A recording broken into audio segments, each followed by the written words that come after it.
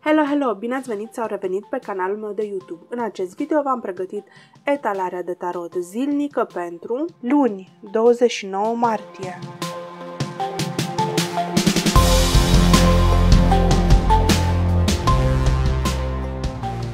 Și acum hai să vedem pentru acest început de săptămână, pentru ziua de luni, ce mesaj o să pe partea de dragoste, pe partea de sănătate și pentru bani, carieră, situație financiară. Wow! Două arcane majore și un as. Foarte interesant. În primul rând, pe partea de dragoste avem cumpătarea, Îngerul Temperanței, cartea care în tarot reprezintă și zodia săgetătorului. Prin urmare, dacă sunteți săgetători, aveți ascendentul, Luna, Venus, Jupiter sau aglomerare de patru sau mai multe planete în această zodie, sau dacă partenerul vostru este în săgetător sau are anumite plasamente planetare importante în săgetător, fiți foarte, foarte atenți la acest mesaj.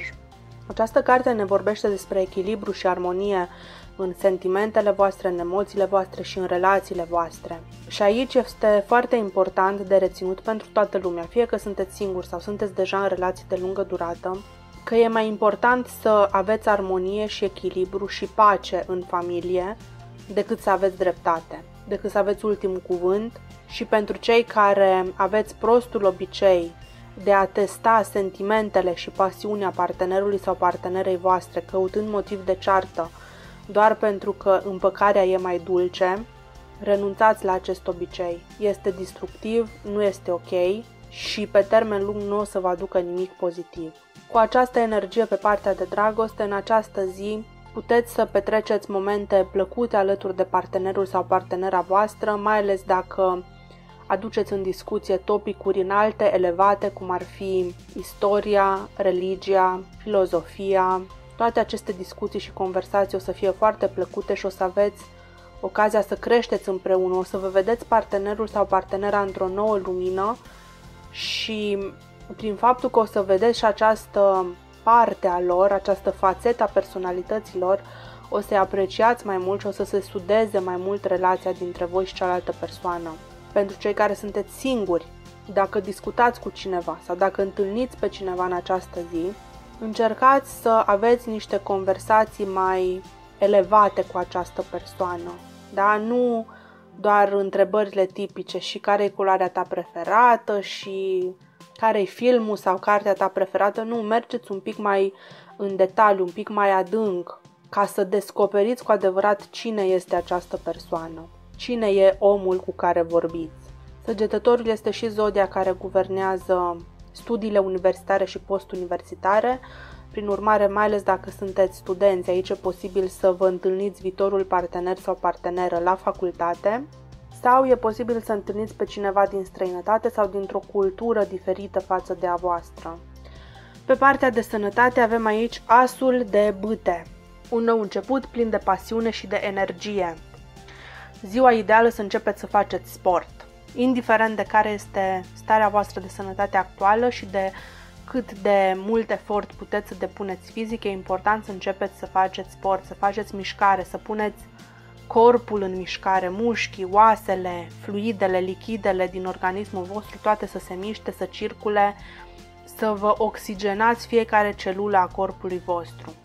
Ar fi ideal să faceți mișcare în aer liber, dar dacă nu puteți acest lucru, și niște exerciții de yoga sau de pilates, de stretching, întinderi, gimnastică, ceva, orice, orice fel de sport, orice fel de exercițiu fizic aici este foarte binevenit.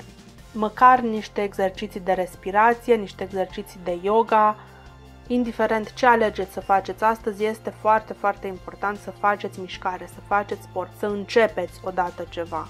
Nu trebuie să fie ceva extraordinar, nu trebuie să faceți două ore de sport. Calibrați mișcarea cu ceea ce sunteți capabili să faceți la momentul actual și pe urmă creșteți gradual câte un pic cu câte un minut în plus în fiecare zi până când o să ajungeți acolo unde vă doriți să fiți. Pe partea de bani, carieră, situație financiară avem aici spânzuratul, arcana majoră care în tarot este foarte strâns legată de planeta Neptun.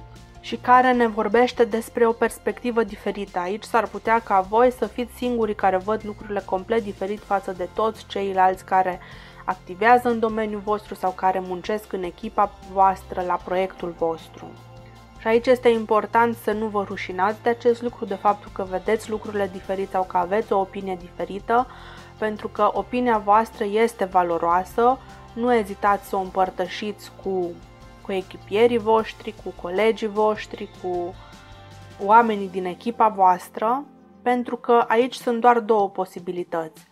Fie aveți dreptate și prin faptul că împărtășiți această idee, aceste concepte cu cei din jurul vostru, îi ajutați și pe ei să vadă o metodă mai bună, mai optimă de a face lucrurile, fie nu aveți dreptate și atunci măcar vă clarificați exact unde ați greșit, știți ce nu e ok, astfel încât pe viitor să nu mai repetați aceeași greșeală.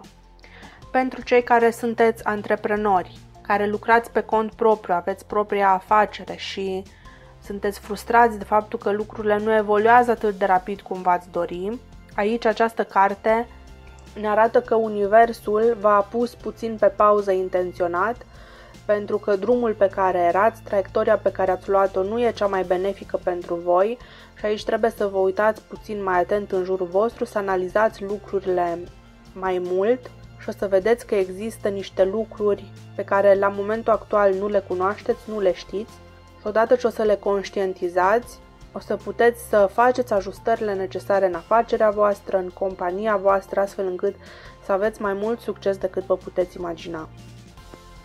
Și înainte să finalizăm această etalare, vreau să vă scot și un card de înțelepciune, un mesaj suplimentar pentru această zi.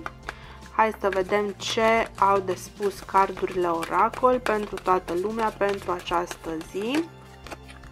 Mesajul este următorul. Sunt demn de a fi iubit. De cel puțin trei ori pe zi stau în picioare cu brațele larg deschise și spun Sunt dispus să las iubirea să intre în mine. E bine să las iubirea să intre în mine. Un mesaj foarte frumos care vine și completează mesajele de la cărțile de tarot. Vă mulțumesc că ați stat cu mine până la final, ne vedem și în videourile următoare. Pa, pa!